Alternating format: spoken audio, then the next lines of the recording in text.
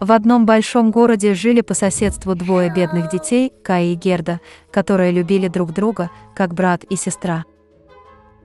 Родители разрешали им ходить друг к другу по крыше в гости и сидеть на скамеечке под розами. В теплое время года они проводили здесь все время, выдумывая разные игры, а зимой любили устроиться у теплого очага и слушать удивительные истории, которые им частенько рассказывала бабушка. Однажды, когда дети рассматривали книжку с картинками, Кай почувствовал, как что-то кольнуло его в глаз и сердце. Это были осколки зеркала могущественной повелительницы Снежной Королевы. С тех пор поведение мальчика резко изменилось. Он стал злой, грубый и жестокий. Как-то раз Кай отправился кататься на санках и не вернулся. Когда Герда узнала об исчезновении Кая, она долго плакала. Но она была уверена, что Кай был жив, поэтому решила отправиться на его поиски. Долго шла Герда по лесам, по полям, и вот наткнулась она на чудный домик, утопавший в цветах. К ней вышла хозяйка, это была старая-престарая волшебница в большой соломенной шляпе. Герда очень понравилась старушке, и поэтому она заколдовала бедную девочку и оставила ее у себя навсегда. Герда позабыла о цели своего путешествия и много времени провела, играя в чудесном саду гостеприимной хозяйки. Однажды она случайно увидела розу и вспомнила Кая. И тут же, очнувшись от волшебства, отправилась в дорогу. По дороге Герда встретила большую умную птицу – она рассказала девочке, что знает принцессу, которая собиралась выйти замуж, и ее жених очень был похож на Кая. Ворона согласилась провести Герду к нему. Оказавшись во дворце, Герде удалось увидеть будущего принца. К сожалению, это был не Кай. Принцесса, выслушав грустную историю девочки, подарила ей золотую карету с кучером и слугами, а также башмаки, муфту и чудесное платье. И Герда отправилась в путь. В темном лесу сверкающая карета сразу бросилась в глаза разбойникам, которые тут же напали на нее.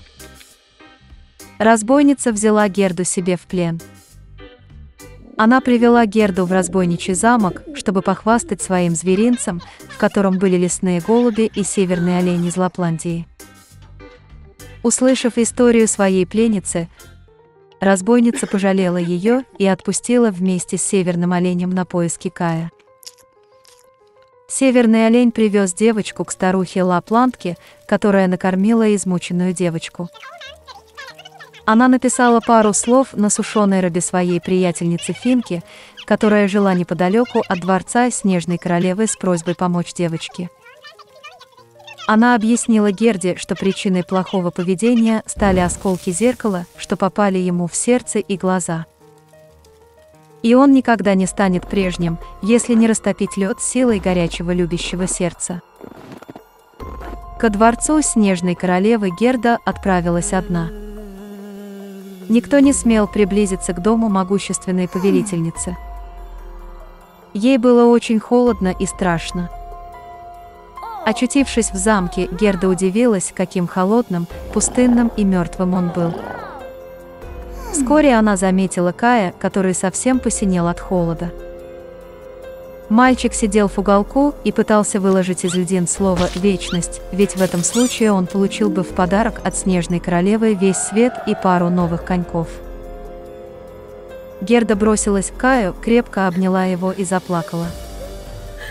Своими горячими слезами она расплавила осколок, застрявший в сердце мальчика. Кай тоже принялся плакать, и второй осколок выскочил из глаз вместе со слезами. Как они были счастливы видеть друг друга. Но не было времени для радости. Им нужно было выбраться из ледяного дворца, пока не вернулась снежная королева. Когда Кай и Герда наконец выбрались из царства снежной королевы, они поспешили домой. На обратном пути им повстречались все друзья, которые помогли Герде в ее поисках. Дома их ждали любимые цветущие розы, а все происшедшее вскоре было забыто ими, как тяжелый сон. Когда-то в одной далекой стране жил король. И было у него 11 сыновей и одна дочь Элиза. Жилось королевским детям хорошо и беззаботно, пока в их жизни не появилась мачеха. Никто и не догадывался, что новая королева была злой ведьмой. Она ненавидела детей короля, всегда жаловалась на них и мечтала выгнать из замка. Злая королева так много клеветала на бедных детей, что вскоре и сам король начал верить ее словам. Сначала он отослал свою дочь на воспитание в деревне неподалеку. Там ей суждено было прожить до 15 лет. Злая королева хотела отослать и мальчиков, но они были еще слишком малы. Поэтому отец оставил их в замке.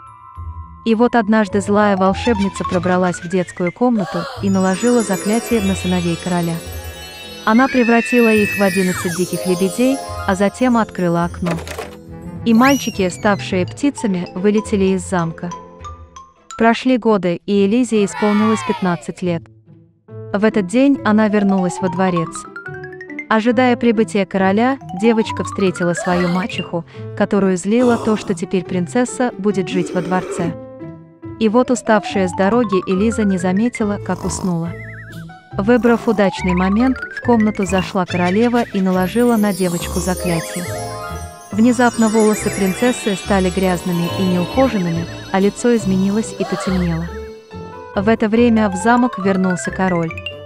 Он соскучился по дочери и мечтал встретиться с ней. Войдя в комнату, король увидел, что девочка на кровати принцессы совсем не похожа на его дочь. Он разозлился и приказал выгнать незнакомку из замка. Ночь Элизе пришлось провести в лесу. Утром она умылась в пруду, чары спали, и девочка вновь стала красавицей. Тут же ей повстречалась добрая старушка. Она рассказала принцессе о том, что каждый вечер видит у реки 11 лебедей в золотых коронах. Тогда Элиза пошла к воде. На закате туда прилетели и лебеди, которые в ту же минуту превратились в ее братьев. Они сразу узнали принцессу и Лизу и принялись обниматься. Братья рассказали девочке, что злая мачеха заколдовала их.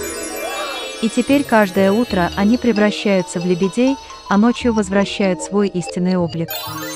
Утром братья снова обратились в лебедей и унесли Элизу с собой, посадив девочку в корзинку из ивовой коры. Принцесса была счастлива лететь по небу вместе со своими братьями.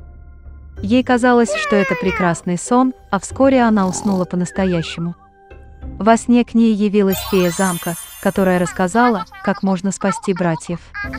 Элизе стоило нарвать крапивы и сплести 11 рубашек для братьев, но при этом ничего не говорить, иначе братья исчезнут навсегда. На следующее утро девочка принялась собирать крапиву. Трава обжигала ей руки, но Элиза продолжала срывать ее. Как вдруг девочку заметил прекрасный принц, охотившийся неподалеку. Он был очарован красотой принцессы и подошел к ней поздороваться. Но Элиза помнила о том, что говорила фея, а потому не произнесла ни слова. Принц был поражен молчанием лесной красавицы, поэтому вскоре взял ее в жены и увез в свой замок.